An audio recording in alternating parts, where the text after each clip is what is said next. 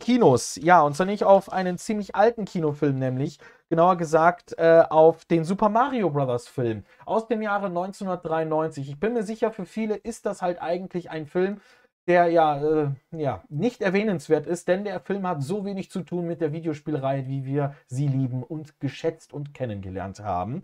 Dennoch, ähm, die Adaption hat nicht funktioniert, trotz auch, weil der Film auch finanziell ein Flop war und auch sehr viele Kritiken bekommen hat, schwache Kritiken. Und ähm, trotzdem wurde das Ganze ja auch zu einem Kultklassiker. Lustigerweise habe ich diesen Film, das ist kein Witz, vor vier Wochen nämlich gesehen. Ja, im Fernsehen, auf Tele 5. Kein Scherz, habe ich wirklich. Liebe Grüße an die Macher von Tele 5, wenn wir schon dabei sind, Discovery nämlich. Nein. Aber nun ähm, hat man nämlich äh, vor einiger Zeit nämlich ist Folgendes passiert. Und zwar haben Anhänger von äh, diesen Filmen, denn es gibt auch wirklich Fans, die diesen Film trotzdem lieben, auch wenn er für viele andere Mario-Fans oder Videospiele-Fans komplett zum Kotzen ist, ähm, nämlich äh, ja Ausschnitte nämlich gefunden, die in dem Film nicht drin waren. Gelöschte Szenen, die nämlich nicht ähm, mit dabei waren. Das Problem ist aber gewesen, und darum hat man sich dann auch nun bemüht, diese ganzen Szenen sind in einem katastrophalen Zustand gewesen. Viele würden sagen, genau wie der Film. Naja, aber es ist wirklich schlimm gewesen, denn klar, eine VHS-Kassette ist jetzt, sagen wir mal, nicht wie so eine digitale Datei, die wenn sie gelöscht ist, gelöscht ist und wenn sie kaputt ist, kann sie überhaupt nicht mehr abgespielt werden. Bei einer VHS-Kassette ist es so, wenn du sie nach Jahren und Jahren irgendwo liegen lässt oder zumindest öfters abspielst als sonst, dann hast du sogar das Problem, dass irgendwann das Material da drauf ziemlich schlimm aussehen wird. Ja, nun haben sich aber, wie gesagt, im Rahmen eines Projektes nun Fans äh, sich quasi aufgemacht und äh, auch die Aufgabe gemacht, diese Szenen zu restaurieren, sie zu retten, um natürlich sie auch der Öffentlichkeit zu zeigen. Und diese Arbeit, so heißt es nämlich, ist auch nahezu abgeschlossen worden, brauchte auch ähm, und brachte, und das ist kein Witz, 20 Minuten neuen Footage des Filmes aus dem Jahre 1993 mit Bob Hoskins ähm, ähm, und unter anderem auch Dennis Hopper als Bowser. Ich wollte schon Browser sagen, als Bowser nämlich hervor. Wie gesagt, und ähm, über das Internet Archive kann nämlich äh, Super Mario Bros.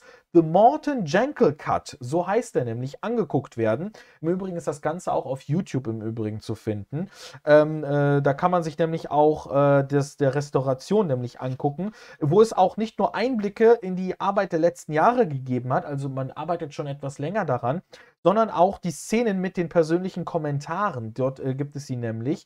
Und ähm, wie gesagt, es gibt manchmal, es gibt dort auch wirklich Szenen, die ähm, zusätzlichen Kontext zu ausgewählten Momenten aus dem Film verleihen.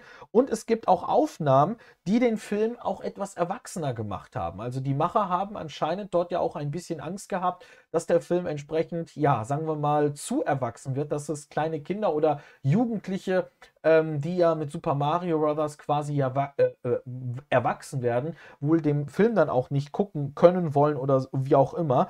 Und ähm, deswegen gibt es halt auch dieses Video, ist wie gesagt auf YouTube zu finden. Einfach mal Super Mario Bros. und The Mortal Jankel Cut auswählen. Der Name wurde, wie gesagt, an die Anlehnung an die beiden Regisseurinnen und Regisseuren des Originals nämlich gewählt. Und ähm, äh, das neue Material lässt sich aber auch anhand der Timecodes, die unter diesem Video nämlich sind, ähm, sich auch dann, sagen wir mal, auch ähm, ähm, gut erkennen. Also wird man dann auch sehen, was rausgeschnitten wurde und was, sagen wir mal, drin geblieben ist in diesem Film. Und man musste halt auch wirklich sehr viel Mühe sich darum geben, diesen Film oder sagen wir mal, diese vermissten Szenen, diese gelöschten Szenen, ähm, sagen wir mal, wiederzufinden und dass es aber überhaupt auch ein Wunder ist, dass das überhaupt passiert ist. Generell ist es ja aber auch so, das muss man ja sagen, apropos ähm, Super Mario-Film, Nintendo plant ja einen. Ja, aber diesmal als Animationsfilm nämlich, in den nächsten, ähm, in einem nächsten, mit, äh, gemeinsam nämlich mit Illumination nämlich, ähm, will nämlich äh, Nintendo ja ähm, nun einen Animationsfilm zumindest rausbringen. Es gab ja auch schon Animationsserien, vor allem ja auch aus Japan, beziehungsweise auch eher aus den USA, muss man ja auch sagen, wo zum Beispiel halt auch quasi die Geschichte so ein bisschen von Super Mario Bros. 3 ähm, äh, äh, zum Beispiel zu sehen war. Da habe ich mir heute nochmal ein Video angeguckt. Und wer auch im Übrigen Infos zu diesem Film haben will, da empfehle ich den YouTube-Kanal The Gaming Historian.